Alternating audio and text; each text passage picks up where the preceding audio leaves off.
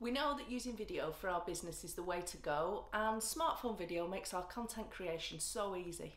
In this video, I'm going to tell you how, when you create one video a week made with your smartphone, you'll never be stuck for content ideas again. You'll have your content working for you on every platform with no more overwhelm or wondering what the heck to post today. Also, later in the video, I'll tell you my number one strategy to get seen and how to drive traffic everywhere. Now, I've been on my own business building journey, and everything I tell you in these videos is what I've found that's helped me, and I'm passing it on to you to help you build your business too.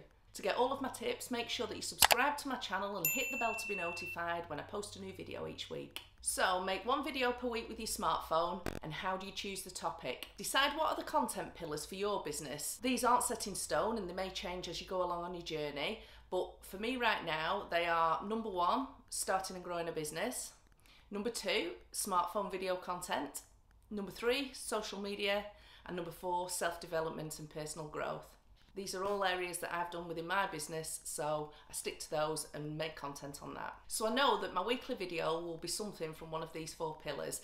And when you know the pillars of your business, this simplifies the process. So, first, get clear on those. I would say that between three and six is a good number of pillars to have, but of course that totally depends on your niche. For instance, if yoga is your business, then your pillars may be number one, exercises, number two, nutrition, number three, meditation, and number four, equipment. You may have more, you may have less. You may want to add something like clothing or mindset work in there. Again, that all depends what you focus on. I choose my topic from my pillars, like this one is from a smartphone video and content pillar. And then I choose my idea from whatever questions I'm being asked or problems that I see, maybe in groups, on social media, or that I'm personally asked. So I know that for a lot of people, knowing what to post on their channels on a daily basis creates a lot of frustration and overwhelm. So I thought I'd simplify it with this video.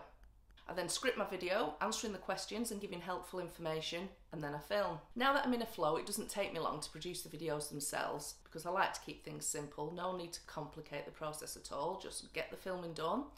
And if you'd like to get started with smartphone video, grab my free download 10 tips to filming video like a pro with your smartphone to help you get going. The link's below in the description.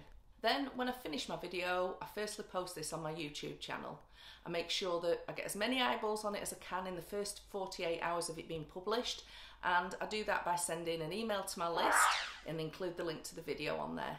I then use clips and images from the video to make teasers for my social media stories and my newsfeed, driving them to watch the full video on YouTube. You can also use pictures of yourself or Canva images to do the same thing, using the content from your videos to tease and getting people to watch. I also take quotes from my video to make images, tweets, and memes, and that gives me more relative content for my social media platforms too. I then use the script from my video as the basis for my blog post, for my website, and I include the video in my blog too, and that's for those who prefer to watch than read when they land on my website.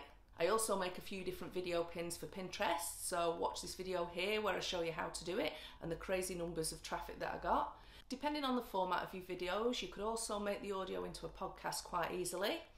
Interviews are great content for this, and again, allowing you to be everywhere that your audience is without the stress. This may sound difficult, but I promise you, once you have a flow, it doesn't take you long. You could also outsource a lot of this at very little cost, which should help you get some of your time back. So, from your one smartphone video, you now have at least 10 content ideas for the week. A video for YouTube, a video to use as Facebook ads, videos for workshops or courses, a blog post, IGTV, stories, your newsfeed, teasers, as snippets, link back to your video, lots of social media posts relating to your video and content topic, quotes, tweets, memes from your video, Pinterest pins, and of course, turn it into an email. So you've got your email content. You've also got a podcast episode if that's the route that you want to go to. So this gives you the chance of being seen everywhere with organic and paid traffic if you wish, and being consistent creates trust, authority, and the algorithms love you. Now, my favourite strategy, as promised at the beginning of the video, to get my content seen and to grow my audience has been to join Facebook groups. Join Facebook groups from the niche that you're in, promote your content organically through those, and when it's allowed, they generally have certain days that you're allowed to do this. I splash my links to everything everywhere to my website, my blog, my YouTube channel, Pinterest, Instagram, Facebook, wherever. And this has been a really good strategy to grow my email list and get subscribers in a non spammy way. This also opens doors to collaboration, which reaches new audiences for you. And it's a great way to get your content out there. So asking group admins for interviews or if you can give your helpful content to their groups, it's always appreciated.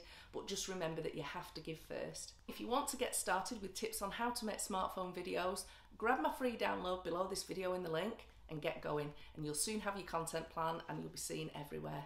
Check out these videos next on how to overcome self doubt when you're putting your content out there and creating content that will attract your audience and grow your business. If you like this video, hit that like button and be sure to subscribe and share with your friends, and I'll see you in the next video.